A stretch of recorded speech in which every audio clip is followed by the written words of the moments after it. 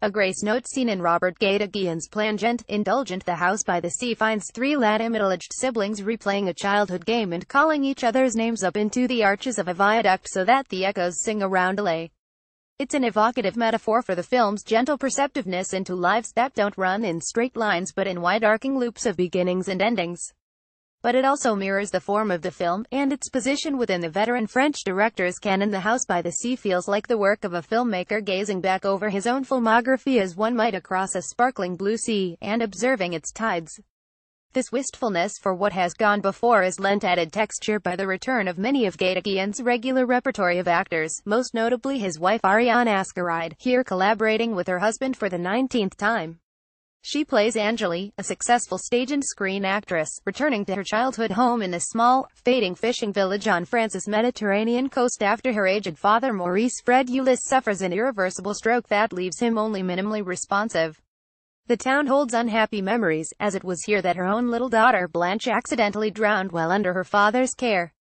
In Dad's villa, which has a big curving terrace overlooking a little cove, she reunites with her two brothers, the dutiful Armand Gerard Meylan, who'd stayed in the village trying to keep their father's modest restaurant business afloat, and the, the sardonic Joseph Jean-Pierre Darroussin who has recently been forced into early retirement and arrives on the verge of a breakup with his much younger girlfriend, Bérangère Anaïs Demoustier.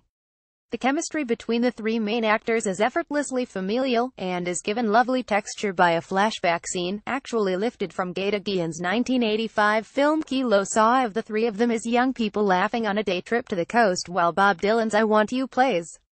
Other temporal flourishes are not so successful a memory of a rowdy village Christmas feels too contemporary to be an image of the long-gone good old days, and a melodramatic envisioning of little Blanche drowning is jarring and oddly artificial, especially since no one was around to actually witness it.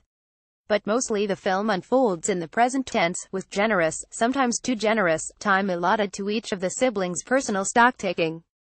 Added into the mix are new love interests, for Angélie in the form of young fisherman Benjamin Robinson Stevenin, another Guédiguian regular, and for Bérangère in the shape of Yvan Yann Trégouët, the son of Martin Jacques Boudet, and Suzanne Genevieve Mnich, the aged couple who are Maurice's only remaining neighbors, and whose dignified but tragic fate provides the film with its most deeply affecting sequence. There is scarcely an unconvincing note struck throughout, but some of the relationships are almost too carefully mapped out, contributing to a repetitive feel, especially in the baggy middle portion of the film. We probably don't need quite as much of the love-struck Benjamin's theatrically inclined ardor for Angélie, and Joseph has the mordant wit of the depressive, but also tends to rather tediously reorient innocuous conversations toward workers' rights and the class system, without there being a particularly sharp point about bourgeois values to be made. Guédiguian is too good at communicating his own interest in his characters to make the slightly complacent pacing that much of an issue, but individual scenes do often feel like they could be sharpened to a finer cutting edge.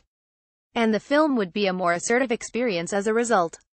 Perhaps none of those extraneous moments would seem like time inefficiently spent, though, if it weren't for Guédiguian's most puzzling authorial choice to leave so late the introduction of the story's most dramatic new element, the discovery of three migrant children, two boys and a girl like the siblings themselves, hiding out in the scrubby woods above the village.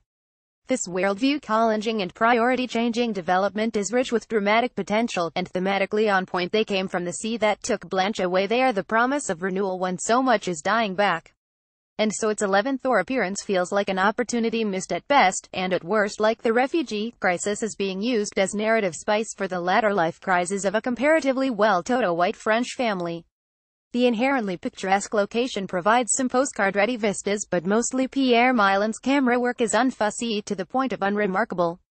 But then Guédiguian is more of a classical storyteller than a formal stylist and for the most part that serves the film well, investing us its affectionate, fully inhabited portrayals and its wide-view vision of life's cyclical nature with minimal distraction.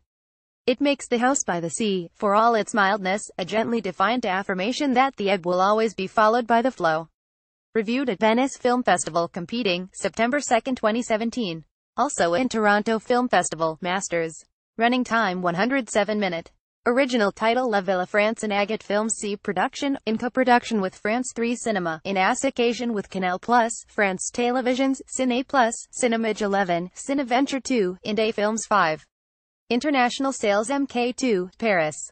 Producers Robert Guédiguian, Marc Bordure. Director Robert Guédiguian. Screenplay Guédiguian, Serge Valletti. Camera color, widescreen Pierre Milon. Editor Bernard Sasia, Ariane Ascaride, Jean-Pierre Darroussin, Gérard Meylan, Jacques Boudet, Anaïs Demoustier, Robinson Stevenin, Yann Trégouët, Genevieve Mnich, Fred Ulysse, Diouc Koma. French dialogue